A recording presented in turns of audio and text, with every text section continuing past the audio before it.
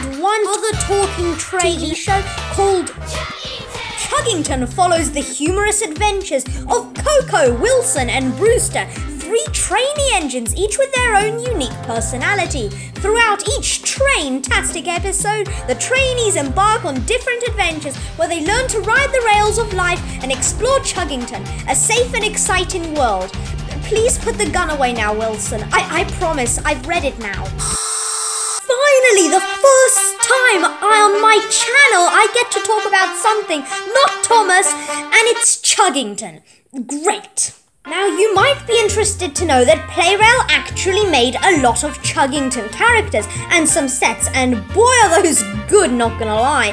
Uh, but the one which we're going to be looking at today is Calley. So, Calley is a small German shunting diesel who used to handle any emergencies or accidents around Chuggington. Uh oh, ice storm approaching Chuggington.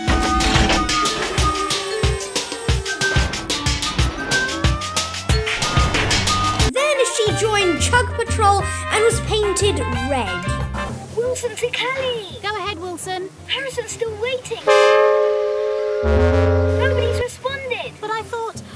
Oh no. So yeah, she's now red, an awful red. I really don't like it. It doesn't suit her at all and uh, she hasn't appeared since season 5 because a new character called Ty just reused her render, repainted purple. But I won't dawdle about colours here because let's get into the, her Plarail model, and I am joined by my good acquaintance I Can't Draw Studios. Alright, Tons, let's see how faithful her models are. Models? But there's just one, right? Nope, there are two.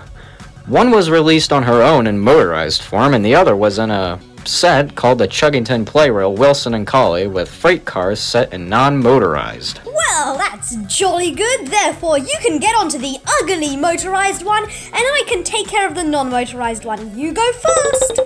Of course, you gave me the worst looking one. Oh well, here we go. So as you can see, they kinda completely screwed her model up. Why? Let me tell you.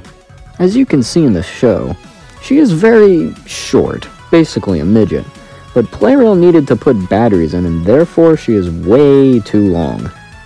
I know she had to fit under bridges, but why is she so short? Because of this, her face and details are squashed and stretched.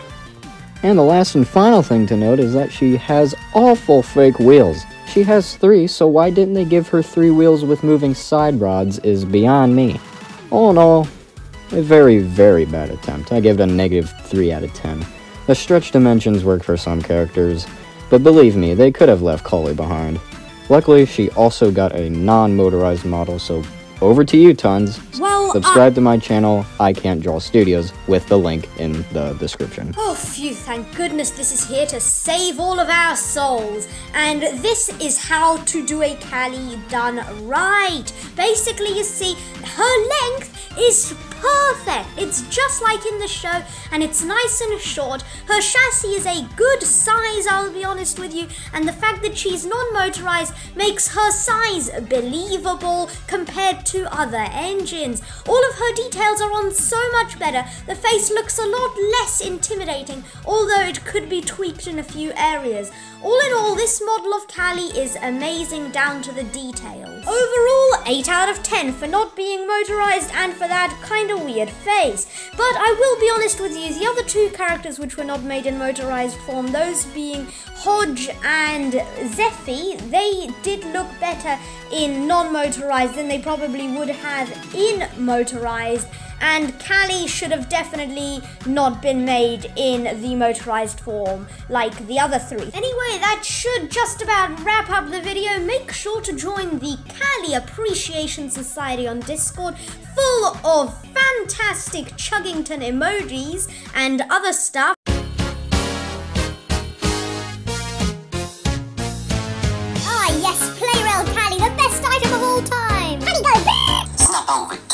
You're right, mate. I think you're broken for making a Chuggington video. Stick to Thomas and uh, hopefully nothing bad will happen. Chuggington!